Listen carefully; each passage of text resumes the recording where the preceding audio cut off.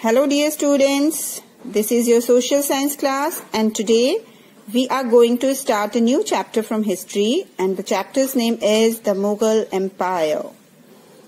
Students, you must be known with the names of some of the rulers of Mughal Empire like Akbar, Shah Jahan, Jahangir, Aurangzeb. These are very well known rulers of Mughal Empire and you must have heard the names of these rulers.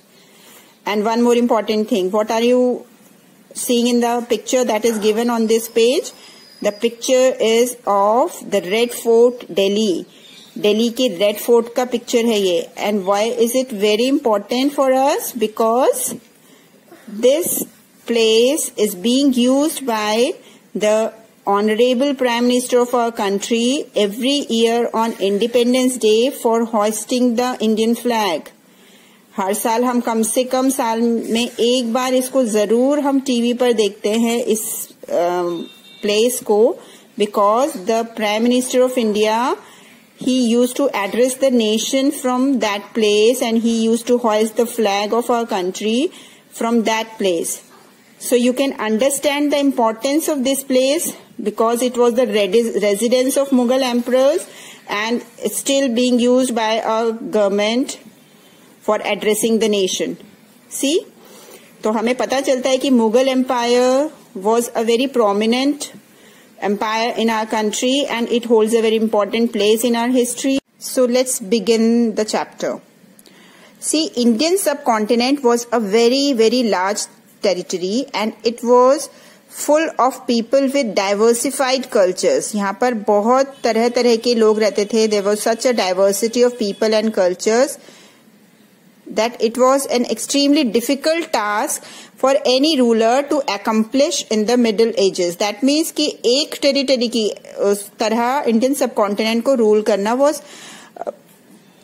extremely difficult for our ruler but Mughals ने ये जो एक impossible सा task था, उसको possible करके दिखाया। Mughals created an empire which was expanded almost for the almost at the entire Indian subcontinent ठीक है, पूरे ऑलमोस्ट पूरे इंडियन सब कॉन्टिनेंट को उन्होंने वहाँ तक अपना किंगडम एक्सपैंड किया और उसको एक टेरिटरी की तरह रूल किया। And they have captured Agra and Delhi और आगे भी नॉर्थ वेस्ट फ्रंटियर्स और वो हम अभी सब पढ़ेंगे डिटेल में that up to where they have expanded their kingdom and their structures of administration and ideas of governance were also very good they outlasted their rule कि उनका रूल जो है वो इतने समय तक कैसे चल पाया because their administration and their ideas of governance were very good and they have left a political legacy for the succeeding rulers of the subcontinent मतलब उनके जो आइडियाज़ थे गवर्नेंस के, उनके जो एडमिनिस्ट्रेशन था, वो आज भी, हम बहुत सारी पॉलिसीज़ ऐसी थी जो कि अभी भी गवर्नमेंट उसको यूज़ करती है एंड उनके सक्सीडिंग रूलर्स के लिए तो वो बहुत इम्पोर्टेंट थे। ठीक है? तो इससे समझ में आता है that Mughals were quite good warriors also but they not only warriors they were also very good administrators ठीक है? उन्होंने बहुत अच्छे अच्छे policies chalai. That is why their rule lasted for such a long period of time. And in this chapter, we are going to study the various Mughal rulers and their administration. Okay. Now, the first thing that we are going to take is who were the Mughals? Mughals कौन थे Mughals कहाँ से आए थे How did they establish their rule in our country? So let's study this. The Mughals were the descendants of two great lineages of rulers. Two great lineages मतलब बहुत दो great वंशों से आते हैं दो great वंश हैं उनके from their mother side and from their father side.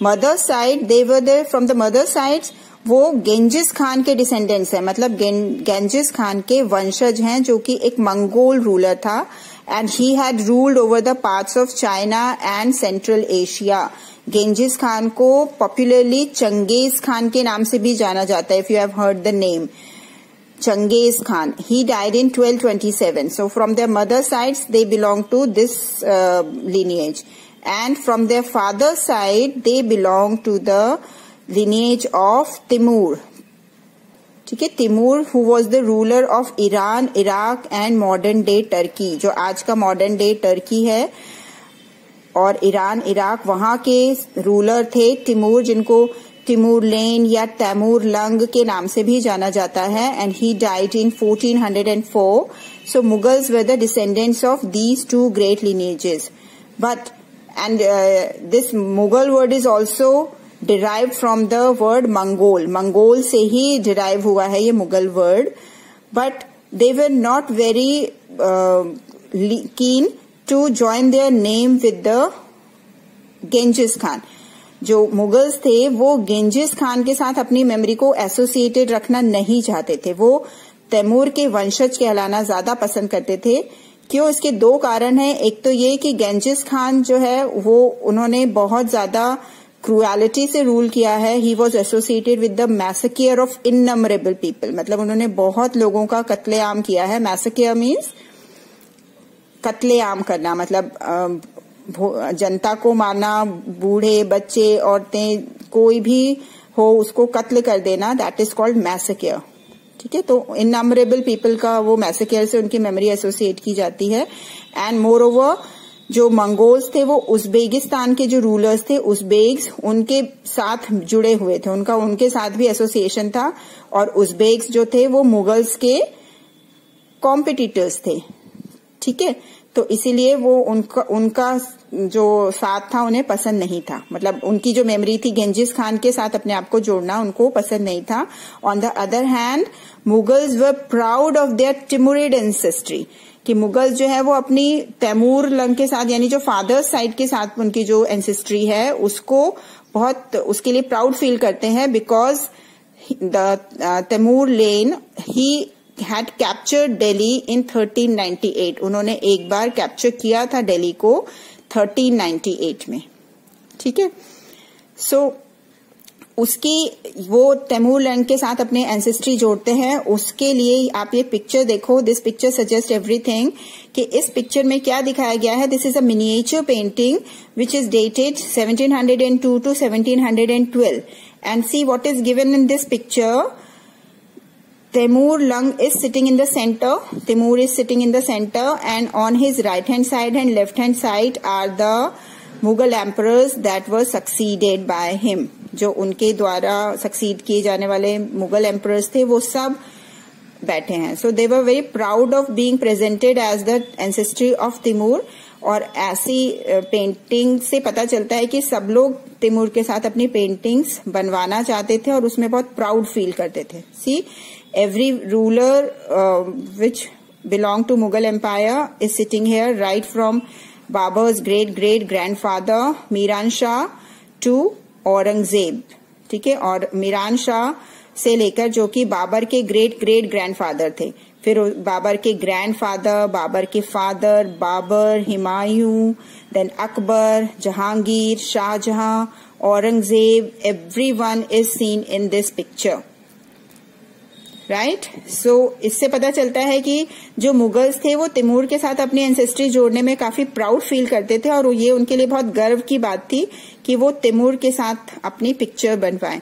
So in this picture they celebrated their genealogy pictorially वो अपने इस पिक्चर के साथ अपनी जीनोलॉजी को सेलिब्रेट करते थे। Each ruler getting a picture made of Timur and himself वो हर हर जो रूलर था, मुगल वंश का वो अपनी पिक्चर तिमूर के साथ बनवाने में प्राउड फील करता था. And this is like a group photograph है ना? एक ग्रुप फोटोग्राफ की तरह ये पिक्चर है. Now we come to the second topic of this chapter that is Mughal military campaigns Mughals की जो मिलिट्री कैंपेन्स थी, यानी कि उन्होंने कैसे अपना एक्सपेंशन किया, उन सब के बारे में हम यहाँ पर पढ़ेंगे. तो मुगल वंश जो है, वो स्टार्ट किससे होता है? The Mughal empire was founded by Babur Babur जो कि 1526 से लेके 1530 तक इंडिया में थे इंडिया की गद्दी पर बैठे इंडिया में उन्होंने राज किया उन्होंने मुगल एम्पायर की शुरुआत की थी। ठीक है? But he was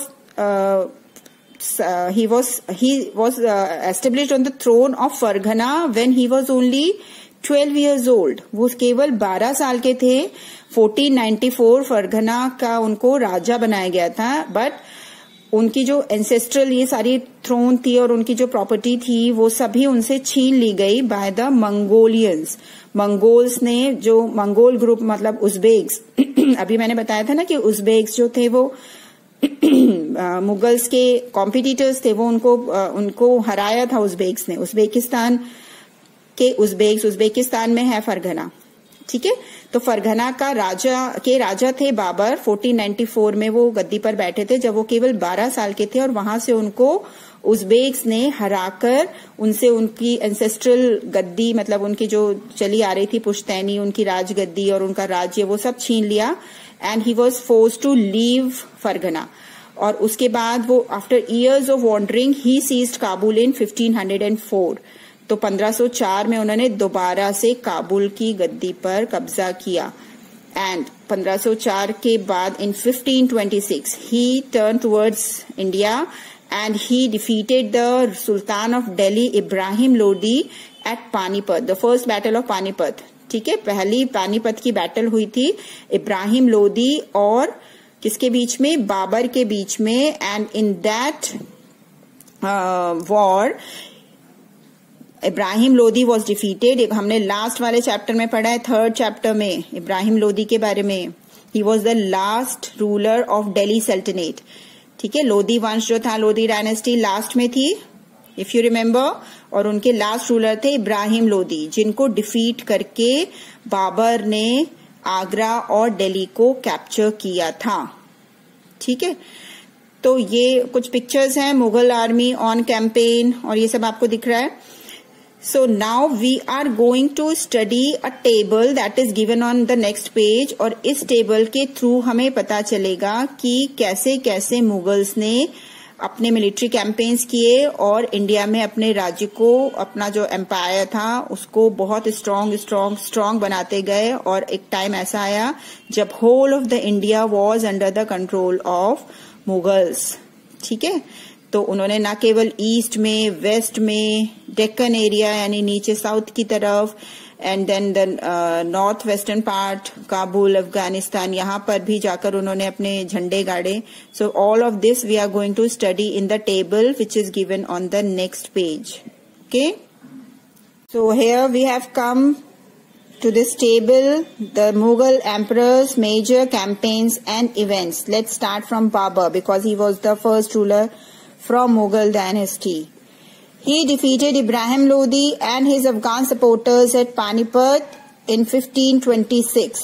ठीक है फिर 1527 में he defeated Rana Sanga Rajput rulers and allies at Khanua Khanua की बैटल हुई थी जिसमें उन्होंने राणा सांगा को हराया और दूसरे राजपूत रूलर्स को हराया then in 1528 he defeated the Rajput at Chanderi Chanderi में फिर again he defeated the Rajput who were great warriors Rajput भी हमारे कंट्री की ग्रेट वॉरियर्स के रूप में जाने जाते हैं।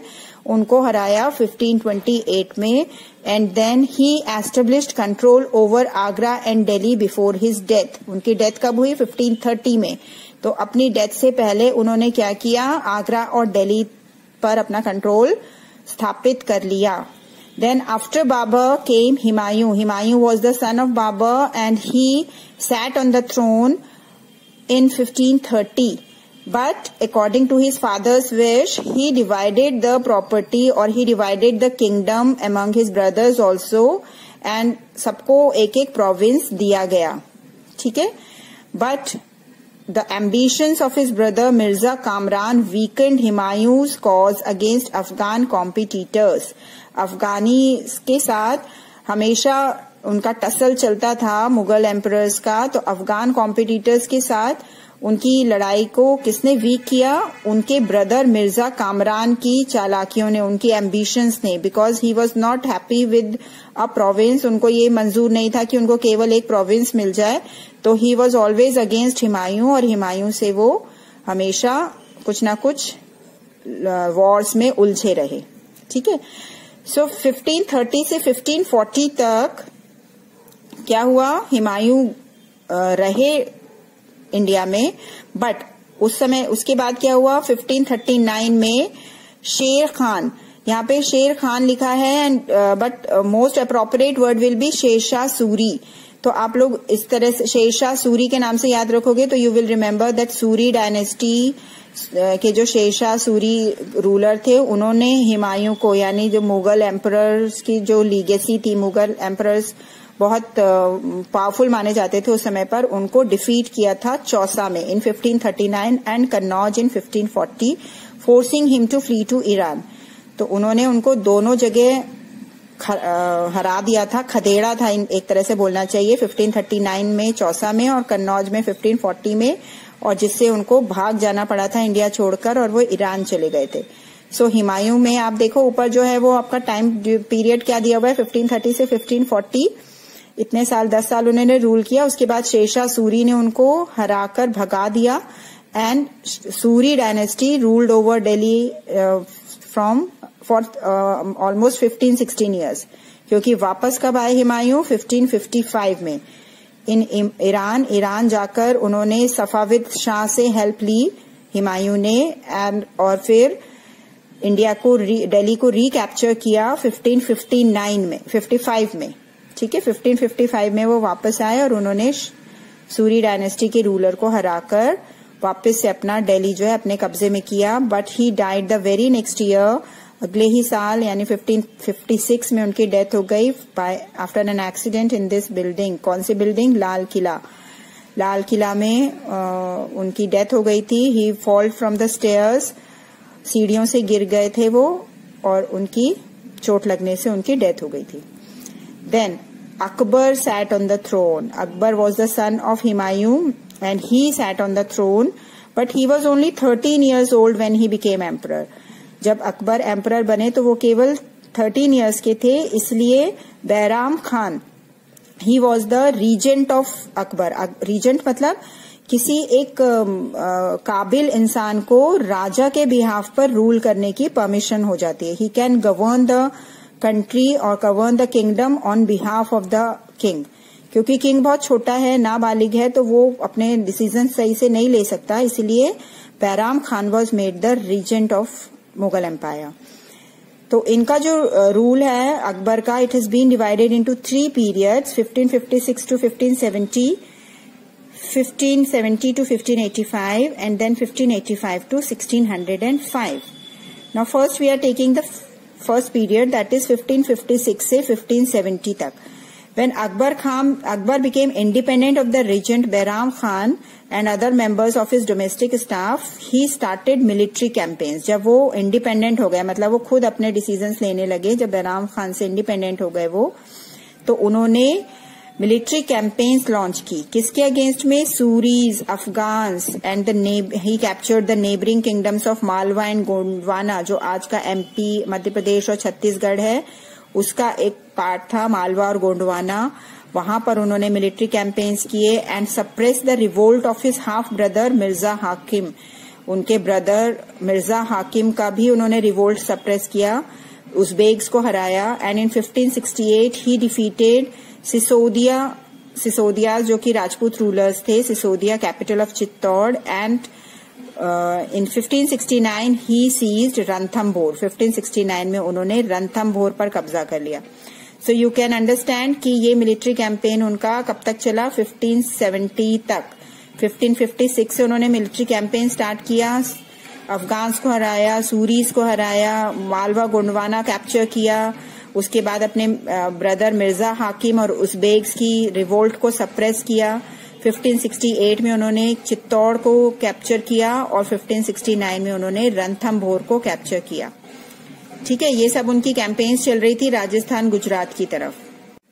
Now the next period of Akbar's rule was from 1570 to 1585 1570 से लेके 1585 तक after the campaigns in Rajasthan Gujarat he turn towards east अब वो ईस्ट की तरफ़ उन्होंने अपना रुख किया and he captured Bihar Bengal and Orissa these campaigns were complicated by his जो ब्रदर उसके जो ब्रदर थे मिर्ज़ा हाकिम उनके जो सपोर्टर्स थे, उन्होंने रिवोल्ट करके कुछ सालों तक उनको बहुत परेशान किया। 1579 से लेके 1580 तक मतलब ये दो साल, उनकी जो कैंपेन्स थी that were being complicated by the revolts which were in support of Mirza Hakim ठीक है?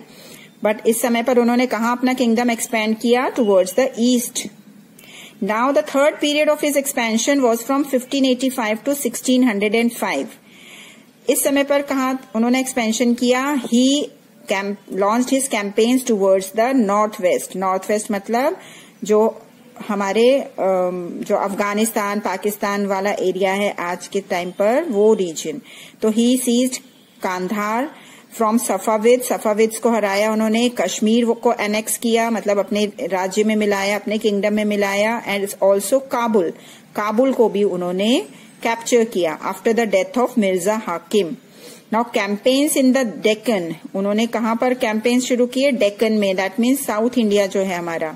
And he captured Berar Khandesh and parts of Ahmednagar कुछ अहमदनगर के पार्ट्स खंडेश और बेरार ये सब उन्होंने मिला लिया अपने किंगडम में।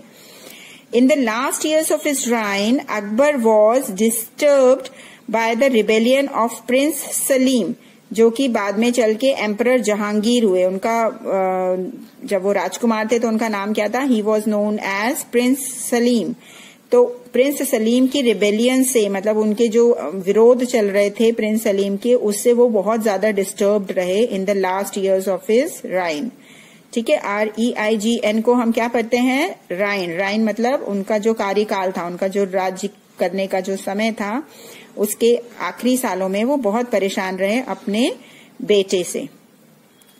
Now we come to the next Mughal emperor and that is Jahangir Jahangir ruled from 1605 to 1627 22 years तक उन्होंने रूल किया और उन्होंने अकबर की जो मिलिट्री कैंपेन्स थी, उनको आगे बढ़ाया।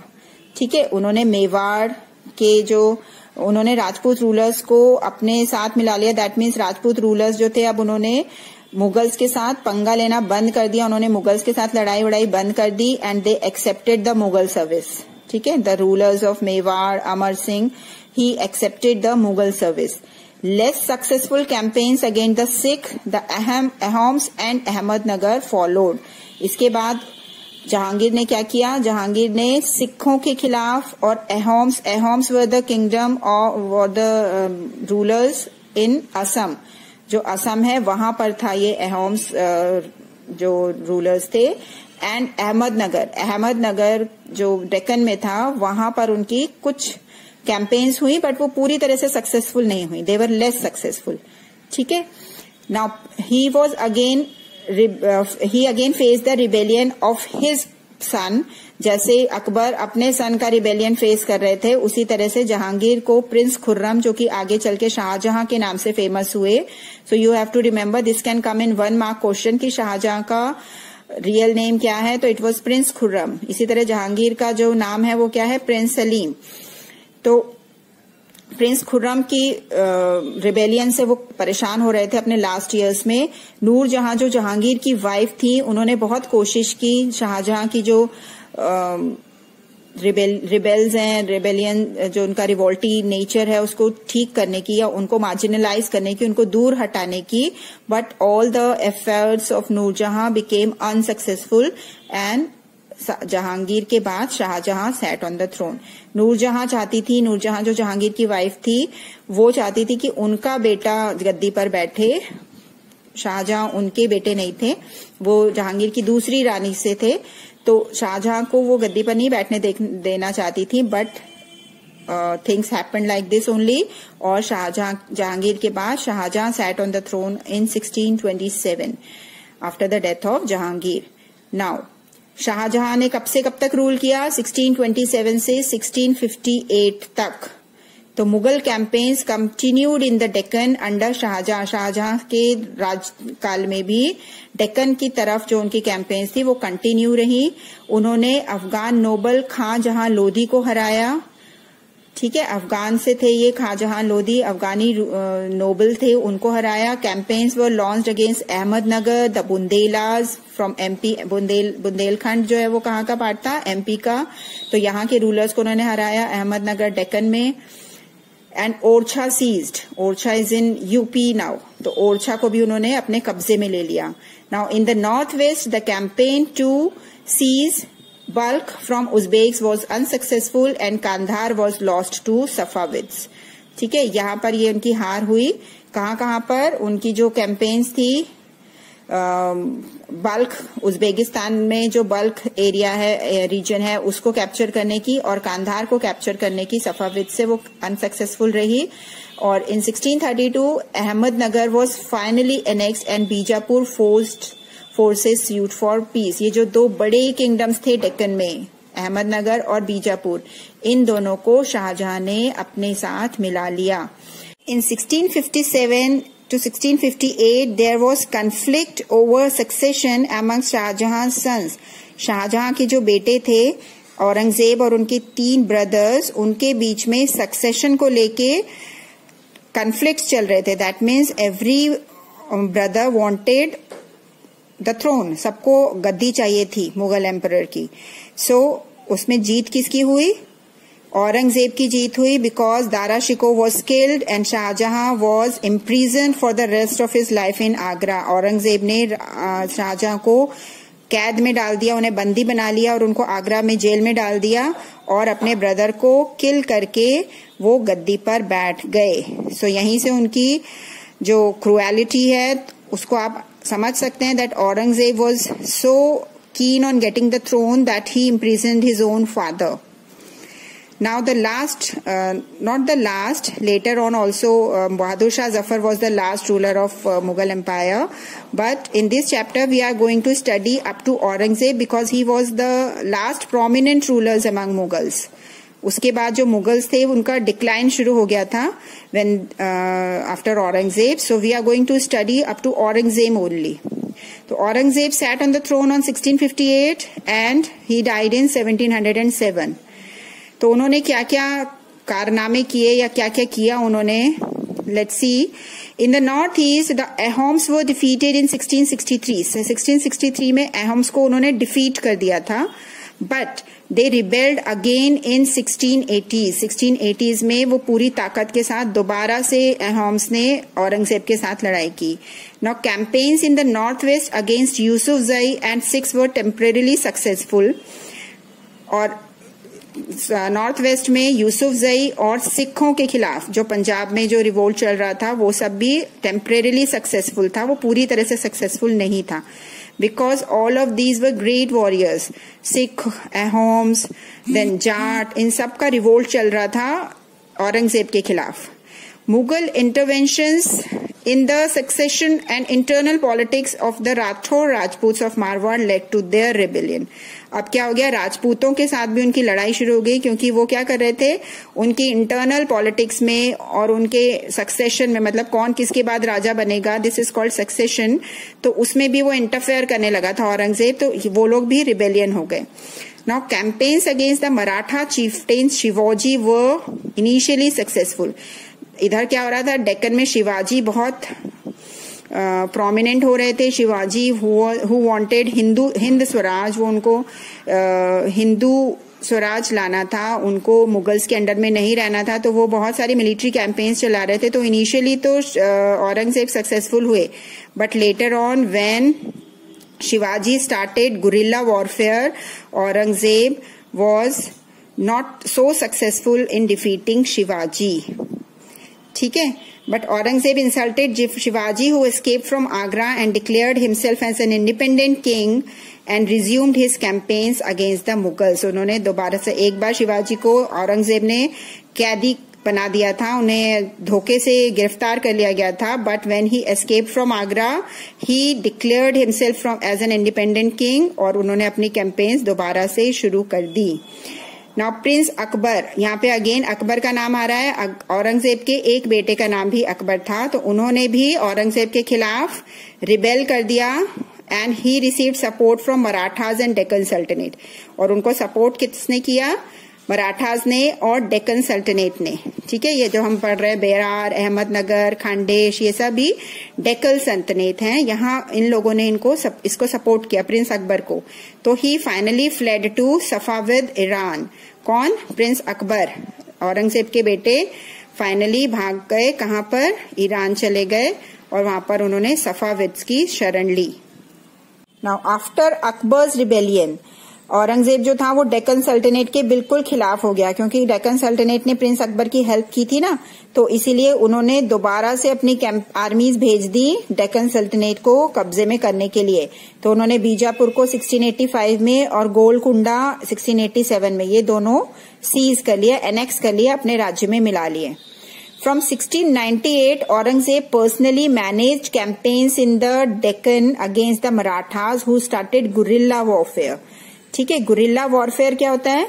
गुरिल्ला वॉरफेयर मराठास करते थे क्योंकि मराठास वर वेरी ब्रेव अगर आप लोगों ने uh, पढ़ा हो इनके बारे में इनकी कुछ मूवीज़ देखे हो तो आपको ये पता होगा कि मराठास बहुत ब्रेव थे और बट उनकी जो संख्या थी वो मुगल से कम थी, उनके पास छोटी आर्मीज होती थी।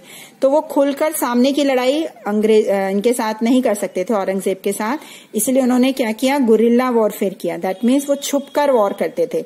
पहाड़ियों में, जंगल में छुप के पूरी स्ट्रैटेजी के साथ, पूरी प्लानिंग के साथ वो आर्मीज के ऊपर अटैक करते थे। तो औरंगज़ेब को बहुत बार उनसे हार खानी पड़ी थी।